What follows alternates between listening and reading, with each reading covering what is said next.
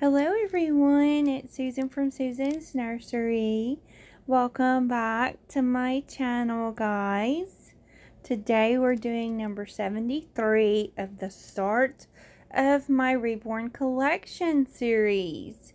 And number 73 is a Paris from Ashton Drake and her artist was Ping Lau and I received her on Valentine's Day last year and I sent her back um, about a month or two after I had her.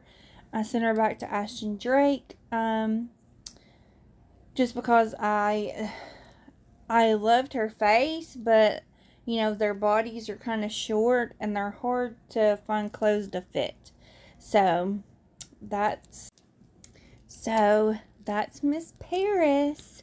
So she does have a box opening and some videos of her you can enjoy.